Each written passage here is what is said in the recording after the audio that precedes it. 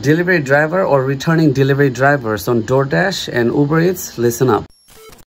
You need to hear this. This is me one more time. Nine thing at a time podcast. Activate negativity. I don't know why I'm keep coming to this channel. DoorDash and Uber Eats goodbye forever. I spoke to somebody recently saying something about, so I spoke to somebody, I'm like, yo, what's the status with uh, DoorDash and Uber Eats? And he was telling me that there's literally no, back in the days, used to make like maybe 100 or 120, something like that. Now, after the border crisis and everything, everybody's here near the New York side, it is completely dead okay? I mean it is completely dead. There's nobody's there. There's no rides. And if you even turn it on by schedule i think they have what? I don't know if the schedule system was there or not but if you turn it on if you even watch tv there's literally zero calls that yo you have to go there. This is an absolute horrible news. This is a very tragic story that now doordash and uber eats has been cut in half. So if this is just happening to doordash and all these other food delivery service then Seamless, Grubhub, then think about what about the rest might be going through. I also made a video that if all the migrants become CEO or entrepreneur, then what's gonna happen? That video is actually on my page. You wanna take a look. A lot of us know if you're following my channels, knew this is gonna happen, this crisis is gonna happen. What if all of them start joining the teachers? What if all of them start selling houses, you know, one day, you know? Every, everything's gonna be affected. But anyway, in this topic, the DoorDash topics and the Uber Eats and the, the delivery driving topics, what really hurts me the most is what about the retirees?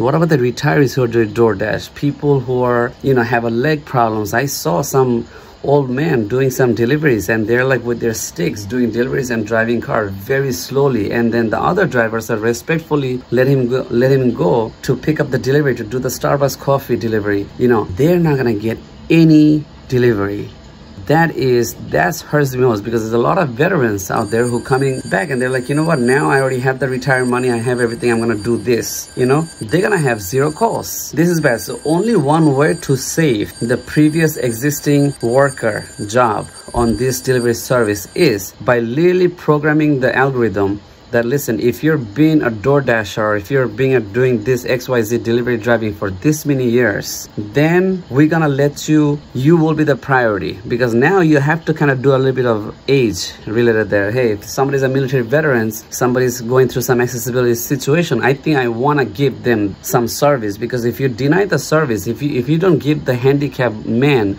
or somebody who's been doing the beginning when the delivery service started and that person had a five star and a top top top star review if that person does not get a ride on on this platform that kind of make the company look bad okay so so only number one advice if you're already struggling with this delivery apps or delivery jobs this is the number one advice i have to give you on my activate motive from my activate motivation channel where i should be uploading this thing is this. Number one thing you have worked hard enough or you have worked on this delivery driving short period of time or longer period of time. Right now it's time for you. Right now listen to this. This is what you have to do now. Right now it's time for you. This is uncomfortable truth but listen to this. Right now your time has has come to change the elevator.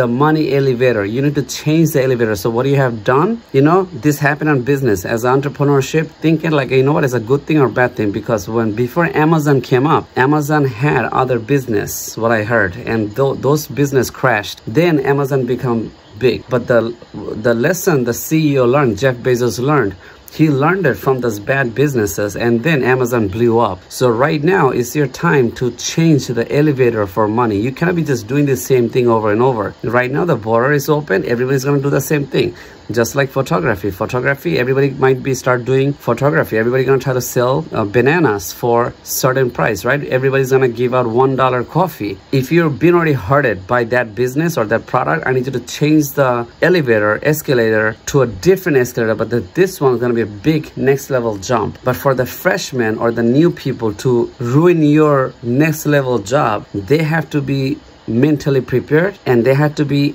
technically prepared to ruin your job. And ruining a technical job is hard and it's going to take some time for the migrant crisis to become CEO that I have a video I made earlier. So you have to do something more technical or you, you need to become live in next level of instant money. You have to do instant money in a next harder level on a different, it could be anything, you know, something, maybe you want to sell something else this time. Maybe you want to open a retail shop, but no, not really because retail is also dangerous nowadays. But you want to do something different. If you don't have a saving, that might not be a, too much of a luck, but you want to different, do something different. And then if they're going to come up and ruin your business in future, then at that time, you're going to have a good amount of money. You're going to level up on a different level different industry okay?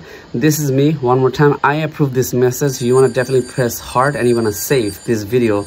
And you want to check out my other videos. I also have other channels if you want to take a look. My following to check on my page who i follow okay? You want to always level up. Now this is very scary and this is uh, this is scary if you, especially if you have a families and stuff right you can if you raise your price there's no point because somebody else is going to try to cut down the price. Even think about the girls. If a girls are doing OnlyFans and they're selling something for $10 or $5 monthly subscription some other border crisis girl can sell stuff for one dollar. She could be selling for one dollar and if she sell if if a woman sell her body for one dollar or 50 cents all it gonna affect all the OnlyFans girl over and out. That's why you need to vote for me, you know, because I'm the only one who can change this thing. You know, you have to, I'm telling you, this is the only one way to fix this thing is you have to vote for me. I'm telling you. So for that, I need your like and subscribe, my friend.